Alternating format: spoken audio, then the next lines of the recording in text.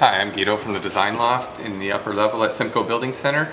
And I'm just going to show you today what we do here, what services we offer, and a few of the products that we offer. Here at the Design Loft, in our displays, it is our goal to show you the quality of the product as well as the different ideas and colors and components that are that make it a complete product. We offer you unique cabinetry products, solid surface countertops, plumbing, lighting, flooring, from one end of the spectrum to the other right down to the finishing touches that make the kitchen complete and unique, the handles.